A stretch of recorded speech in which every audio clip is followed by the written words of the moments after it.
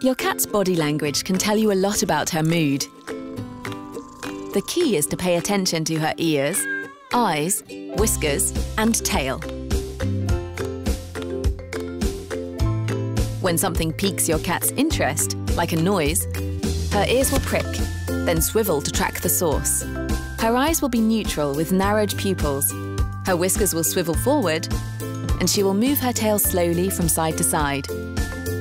When your cat is feeling curious, now is a great time to play or teach her something new. If she feels scared, her ears will go straight back against her head and she will pull back her whiskers. If your cat is really frightened, her eyes will be opened wide, she will have an open mouth snarl, and her tail will stand up straight. Offering a quieter room might help her relax quicker.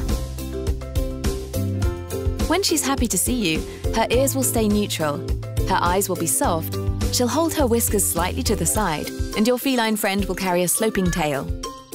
As a sign of love, she will raise her tail and rub her head around your legs as she greets you. It's that simple. When your cat shows signs of contentment, take it as a reward because she knows your bond is deep and full of trust. Perfect Fit. Nurture their youthful spirit